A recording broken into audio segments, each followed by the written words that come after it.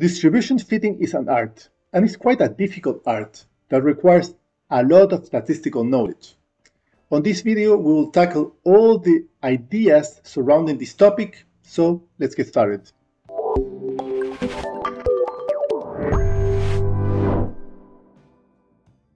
Imagine you have a model that has a process that a thousand people need to go through, so you will have a thousand waiting times. And you know that each person will wait a different amount of time. So the question we want to ask is, how much is that waiting time? And if we have empirical data, you can answer this question because you know how much time people wait. If you have 100 waiting time samples and 1,000 waiting times that need to be occurring in the simulation. So what do you do? That is the question we need to answer here. One very dumb thing that you can do is to just copy paste the 100 data points that you have and create a thousand data points. This is very easy to do, but causes a lot of problems. So this is something that you definitely almost never should do. So we will talk on this video on what kind of things you should do in these cases, how do you fit a distribution, and if you cannot fit a distribution, what should you do about it? Okay, so let's talk about goodness of fit, which is how close a model or a statistical model is to your empirical data. This is generally the idea that we will talk about on this video. And on any model you create, there's always at least one random element that exists. And in general, you have multiple stochastic variables that exist in your system, and you need to understand what these values are, and you generally need a distribution to explain them, whether it is a discrete distribution or a continuous distribution. So you need to understand your statistics. So whenever you use data, you need to understand the behavior of this data. We'll talk about that. You need to understand the frequency, how often something happens in the data, and you need to understand the nature. For example, if it's discrete or continuous. On this video, we'll only talk about, about continuous and we'll ignore discrete distributions, for example, Poisson. So, what are the necessary steps for this? In any data science endeavor, and in particular fitting a distribution, you need to follow different steps. For this video, we will ignore everything related to data cleaning and data collection and all that kind of stuff. We'll assume that we have a clean data set that we can use and is useful, okay? So we will talk about data visualization, so how does the data look like, we will talk about descriptive, descriptive analysis, so all the elements, statistical elements that are related to our empirical data. And finally, we'll talk about different topics surrounding distribution fitting. Okay, so let's get started with data visualization. The two most typical things you need to start your work is box plots and histograms. If you don't know any of these, you should go back and start learning this because this is basic to understand your distributions. There are different biases that we want to, to tackle. For example, outliers. In the box plot, it's very easy to see these outliers. And we want to use this box plot also to understand how your, your data, data behaves and looks like. The histogram also gives you a lot of information. And there are a lot of different biases. For example, sampling bias would be to have a sample of a particular branch of a particular Uh, company, and we use the waiting times in one process in that branch, and we would use the distribution in another branch that may have a different process. That's a potential bias of sampling. And there's other many other variable biases that we won't touch. We will talk only about outliers. Also, you need to understand the skewness that will tell you a little bit about the shape of the distribution that you should use. We'll talk about that in a bit. Okay, so let's talk about the most common reasons for outliers. One of them is the unusual conditions. For example, if you have a, a waiting line and a, some people doing processes and the system fails, there's a spike in these waiting times, and this might be taken as an unusual condition that raises the times. These will be outliers, right? Another one is natural variation. Some things that may look like outliers might not be because it's the natural state of things. Another one, which is the most typical one, in my experience, is incorrect data collection or corrupted data. Even if you, if you have very clean data, it's possible that the data is corrupted and no cleaning process will tell you that. So what do you do and what is the solution? If you have incorrect data collection, you should definitely remove that data from your dataset. That's quite obvious. If you have natural variation, you might not want to remove that data or that outliers because they belong to the system that you're trying to analyze. But you, if you have unusual conditions, you might want to think if you want to remove them or not, depending on the context of the case. Okay, so let's talk about descriptive analysis. Descriptive analysis is related to the stats of your data. So for example, how many samples you have, what is the standard deviation, the mean, different percentiles, the median. All these things tell you things about the data and you can mix this with your visualization analysis. So you have additional information in your visualization that gives you an idea on how the distribution works. So all these two things work together. Something that is important is to experience the data and how does it work in real life. A lot of times the data is quite contextual and the context allows you to understand better what kind of distribution you should use.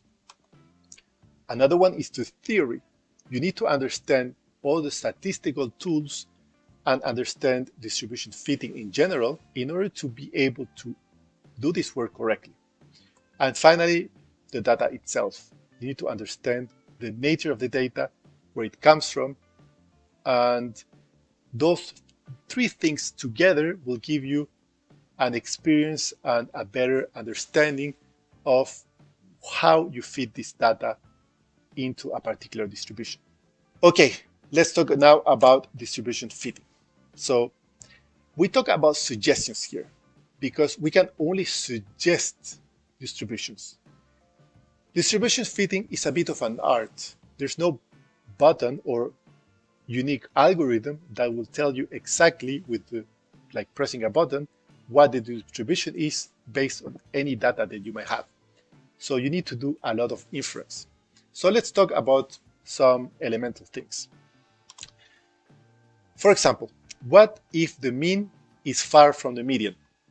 You will see immediately that the distribution is skewed. So you want to use skewed distributions, for example, log normal, exponential, triangular, etc. On the other hand, if the mean is similar to the median, you might know that the data is symmetrical. So you might want to use a symmetrical distribution, for example, normal, uniform, triangular, etc. These distributions are some examples and there are many, many, many more. Another thing that is important to understand is the coefficient of variation. The coefficient of variation explains the dispersion of the data around the mean. This is important and we'll see why. It's very easy to calculate. You calculate the standard deviation divided by the mean. That's it. So what are possible results knowing the coefficient of variation? One of them is that if the coefficient of variation is below 1, you might want to use a gamma or Weibull distribution with a shape parameter above 1. If it's equal to 1, you might want to use exponential distribution. And if it's above 1, you might want to use the gamma or Weibull distribution with a shape parameter below 1. So isn't this enough? Well, I don't think so, because you need to do a lot more to really know what distribution fits your data correctly. So there are a set of tools that you can use, and this takes probably a, a full course in order to understand all these tools. But we're talking here about the basics. Okay? There's also the idea of application cases. Application cases are very important because they are contextual. There's a lot of literature that tells you what kind of application cases allow a distribution of a particular kind. In a way, you can say that if you think about interarrival times, you might want to use an exponential distribution or something similar to that. If you are thinking about waiting times, you might want to use a symmetrical distribution, for example, normal. So they're all contextual. Without even knowing about the data, I can only already inf infer what kind of distribution I need. It's also very important to understand the all distributions that exist, or at least the most popular ones, and understand their shapes. The more you understand about distributions, the more you're able to see the data and infer what kind of distribution would fit more with this particular set of data. Okay, so this is something to study. We're not going to look at this on this video. Let's go back to the goodness of fit. Remember, if you have distribution, the goodness of fit will tell you how close the distribution is to the empirical data. And we can see this by looking at the differences between these two things, right? So what you want to discover is if these differences are small enough in order to accept the hypothesis that the a distribution fits the data. Okay? So the question is, are these differences really significant? And there are a bunch of tests that you can do, for example, chi-squared, Kolmogorov, Smirnov, or Anderson-Darling. These are three examples that have their pros and cons when it comes to, to see if a distribution fits your data.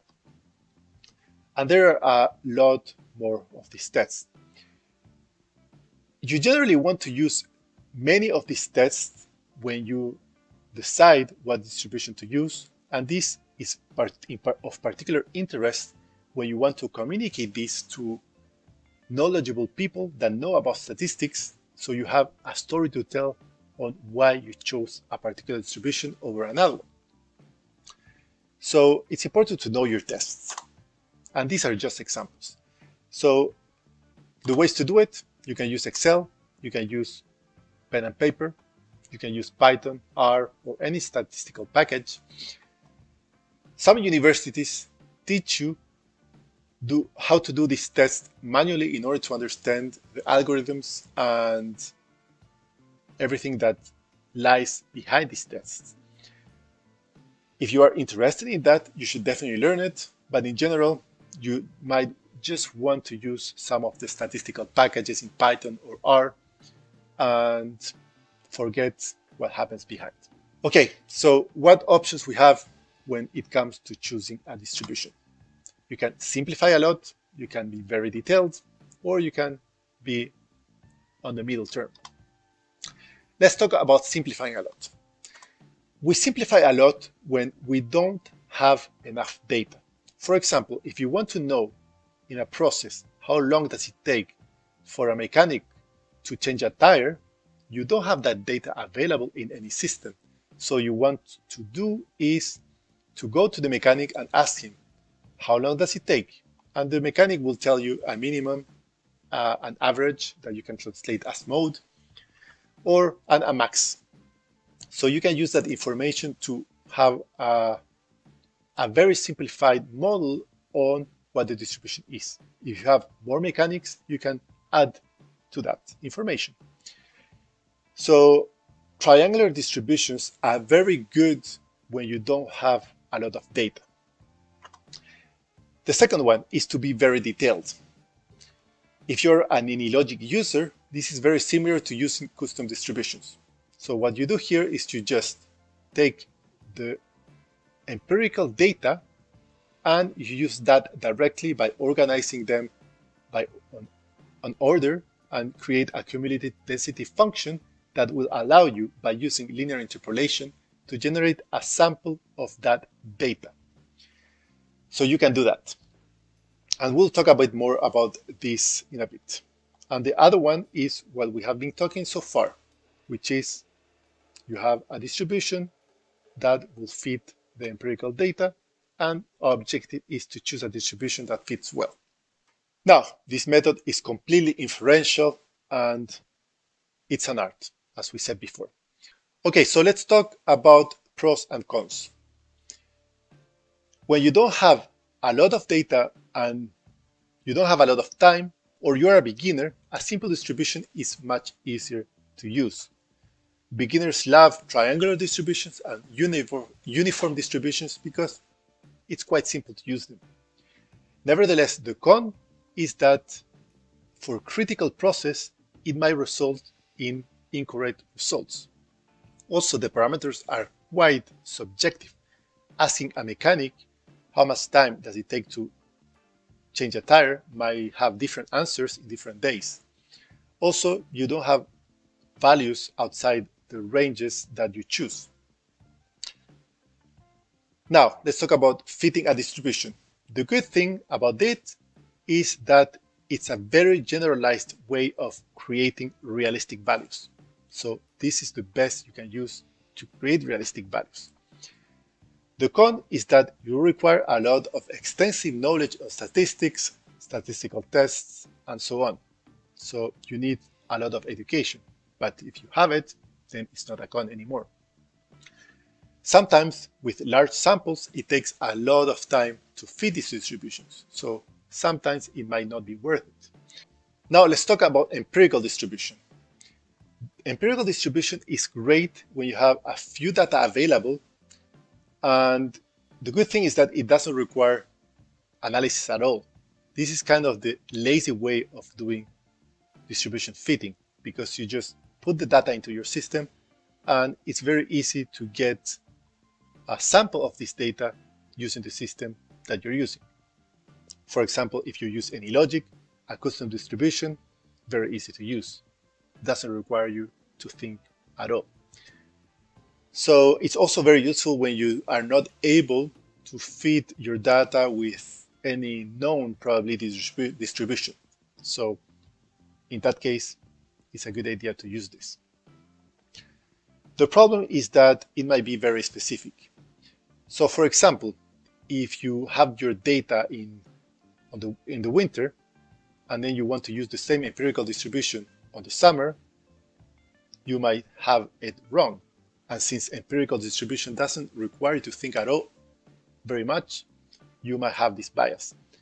When you fit a distribution, you need to think a lot about the context, so it's less likely that you make such a mistake.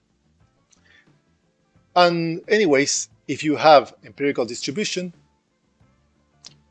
you don't use values that are outside of the range that the data has, and that might cause problems too. So these are the pros and cons for all these options. Okay, so there we are. I hope this video brought you some light on how to do distribution fitting, or if you want to learn more, what to start learning and give you a general idea on the topic and how to apply it in your simulation models in the future. So that's it. See you on the next one.